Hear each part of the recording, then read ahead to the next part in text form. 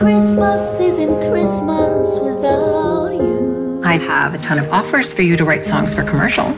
I'm an artist. You need to pay rent, right?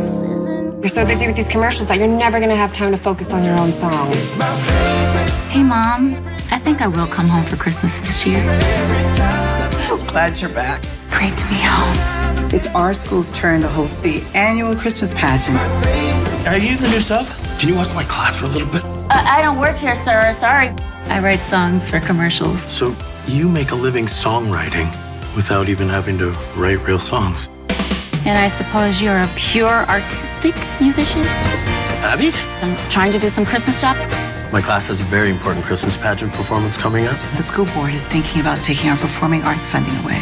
You have to make this the best pageant ever. Trust your intuition, and that will make the difference. I'm not exactly pursuing my real dreams. Well, what are your real dreams? To be a musical artist, there's this one Christmas song I've been toying with. Silent night filled with music now. Maybe you could write it with me. I wrote Christmas Without You, that Casey Macy song. Super big hit. Well, for her it was. You're saying that she stole it? My favorite Christmas melody is you. That sounds good. Ethan, you can play the piano. I think you should apply to the Powell School of Music. Can I do you and Mrs. Walker's song, Christmas Melody?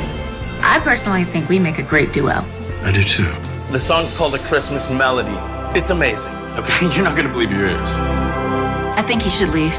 You were trying to take all the credit for our song. Can you talk to me? Maybe you'll have better luck as a solo act. I just got an email from the Powell School of Music. That audition tape we sent in, I knew it was gonna blow their minds. Audition tape?